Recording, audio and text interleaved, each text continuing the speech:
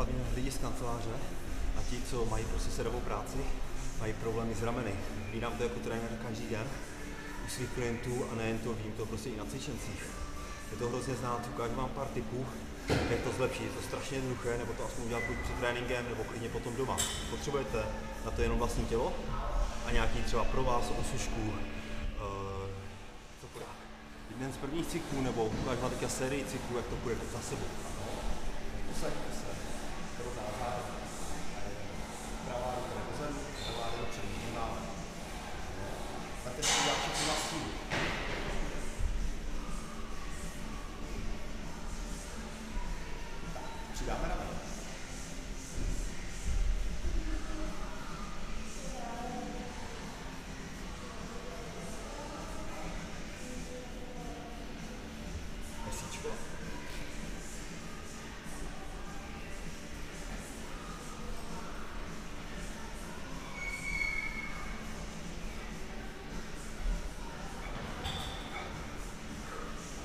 Tyhle ty tři varianty stačí udělat, pomáhá to, uvidíte, že během třeba dvou týdnů se vám zlepší extrémně dobře mobilita ramen. Jo? Funguje to krásně na rozhýbání.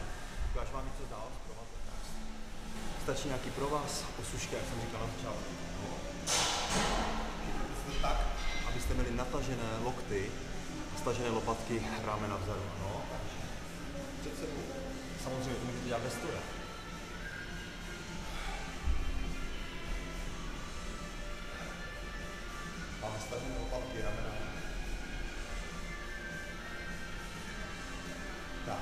Tak, a můžete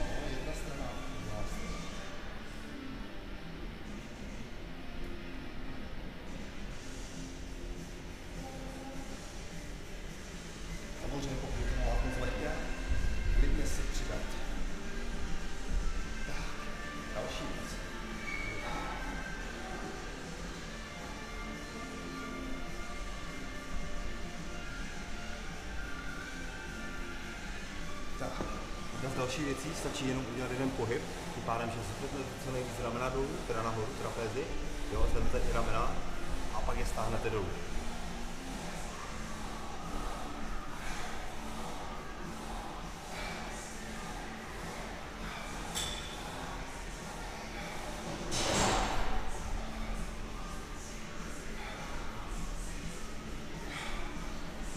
Těchto pár cviků bylo jich, myslím, šest.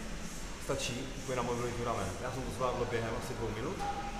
Možná to zabere třeba 3-4 minutky úplně v pohodě, jo? Třeba dvakrát denně, třikrát denně. Zkuste to, uvidíte během dvou